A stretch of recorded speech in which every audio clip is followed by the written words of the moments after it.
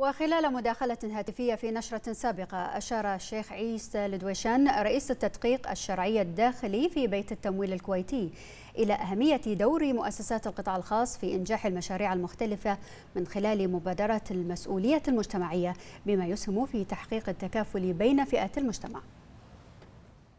أقول بفضل الله سبحانه وتعالى نجحنا بالتعاون مع وزارة العدل في تنفيذ مبادرة مجتمعية جديدة ولأكثر من مرة من أهم الدوافع التي وقفت خلف هذه المبادرة والمساهمة في مشروع القارمين في تفريج كره بالناس والمساهمة في المسؤولية المجتمعية وكذلك حفظك الله في إدخال الفرح والسرور على القارمين وأسرهم وممارسة حياتهم بالمجتمع بكل تفاؤل وإيجابية. إحنا نتم النجاح لتحقق حرفية ودقة عالية ممتاز كذلك بشفافيه الطرح ووضوح المعايير التي على أساسها يتم اختيار القارمين من وزارة العدل.